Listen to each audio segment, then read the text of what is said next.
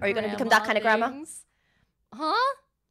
Are you gonna? I'm gonna be the type of gra- oh my god, I'm so excited to be like 80 years old. I'm gonna I'm gonna ride the train every day in a loop. You know the Yamanote Sen that like goes around in a circle. I'm gonna be on that Yeah. train 24 seven. I'm just gonna sit there. I'm just gonna yell at people. Get off my train! no, Get off yell my good things, train! I'd be like, you're Oh. so sexy. Oh, you're you two Nice dating. butt. You guys should get married.